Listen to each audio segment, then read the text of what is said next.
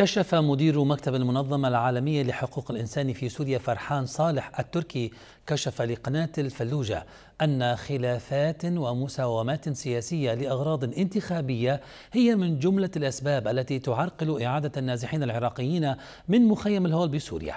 التركي أضاف لقناة الفلوجة أن من الأسباب هو أن الحكومة لم توفر لهم أماكن كافية لإيوائهم في مخيمات نينوى بعد إعادتهم فضلا عن عدم توفر الخدمات الضرورية التي تقدم لهم. واصفا وضع النازحين العراقيين في مخيم الهول بالمزري من حيث قلة الخدمات وانعدام المساعدات سوى ما تقدمه الأمم المتحدة من إغاثة محدودة جدا تتمثل بحصة غذائية كل شهرين لشخص واحد فضلا عن شح المواد الوقودية والأغطية ومتطلبات فصل الشتاء إضافة إلى قلة الخيم حيث تسكن أحيانا كل ثلاث عوائل في خيمة واحدة وبعض العوائل حفرت حفرا بالأرض وغطتها بالبطانيات للسكن فيها.